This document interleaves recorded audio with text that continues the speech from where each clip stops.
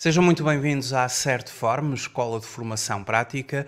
Eu chamo Miguel Fragoso, sou economista e contabilista certificado, formador nas áreas da contabilidade, fiscalidade, finanças empresariais e gestão de negócios e neste vídeo vou fazer a apresentação do curso técnico de contabilidade e administração empresarial na forma e-learning. É uma formação que é desenvolvida assim a partir da plataforma e-learning da Certform num sistema de ensino à distância. Vamos eh, consultar o site da Certform e em certform.pt temos acesso a todas as eh, formações disponíveis na forma e-learning e também na forma live streaming. O curso técnico de Contabilidade e Administração Empresarial com Informática Aplicada é ministrado na forma e-learning. A formação tem a duração de 130 horas e eh, os grandes objetivos deste curso passam pelo seguinte: desenvolver os conhecimentos na área de contabilidade, informática, fiscalidade e finanças da empresa, de forma a possuir as competências profissionais capazes de contribuir para uma mais rápida integração e adaptação ao mercado de trabalho. Promover a valorização profissional de todos aqueles que assegurem ou venham a assegurar as tarefas de assistente de contabilidade e administração nas empresas. A formação está organizada ao longo de um conjunto de cinco grandes módulos. No site da Certform pode consultar eh, todo o percurso formativo de uma forma detalhada. O primeiro módulo trata da prática de IRS, da Segurança Social, do processamento de salários com informática aplicada. O módulo número 2, a prática da contabilidade de acordo com o sistema de normalização contabilística e com informática aplicada. O módulo número 3, a prática do IVA, o Imposto sobre o Valor Acrescentado. O módulo número 4, a prática do IRC e a análise também de anexos da informação empresarial simplificada. E depois o módulo número 5, as demonstrações financeiras e a análise financeira da empresa. Este módulo número 5 é a componente das finanças empresariais que este curso contempla. Uh, para fazer a sua inscrição no curso, deverá proceder ao preenchimento da ficha de inscrição que está uh, junto da descrição completa desta formação.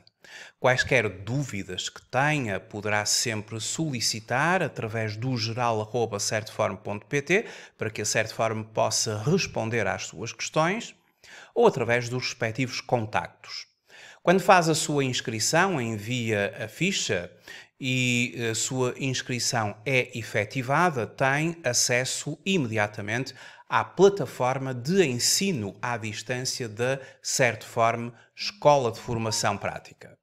Fará o seu login colocando o e-mail no nome do utilizador ou e-mail, a sua palavra passe, aquela que recebeu por e-mail, e faz o primeiro login. Vai entrar na área dos cursos e vai eh, aceder ao seu curso, ao curso no qual se inscreveu, que é o curso técnico de Contabilidade e Administração Empresarial com Informática Aplicada. E vai começar o seu percurso formativo. Ou seja, na plataforma e-learning, na plataforma de ensino à distância, vai ter todos os recursos para que tenha uma aprendizagem bem sucedida. Através de videoaulas, através de manuais, apresentações, casos práticos, testes de avaliação contínua, através de método de escolha múltipla. Vai começar por visualizar a apresentação do curso, depois a primeira videoaula do curso, as atualizações que o curso vai tendo ano após ano, porque estas formações estão permanentemente atualizadas na certa forma. À medida que visualiza os vídeos, as videoaulas e que faz o estudo dos manuais dará por concluído e avançará para a próxima etapa. E assim passará todo o primeiro módulo que eu já tinha referido, que é o IRS e a Segurança Social na perspectiva da empresa, quando há pouco estivemos no site da Certform a ver como é que esta formação está organizada. Quando chega ao final do primeiro módulo, fará o seu teste de avaliação final, tem ainda acesso a algumas matérias de atualização permanente e depois passa para o módulo número 2, o processamento de salários em ambiente informático.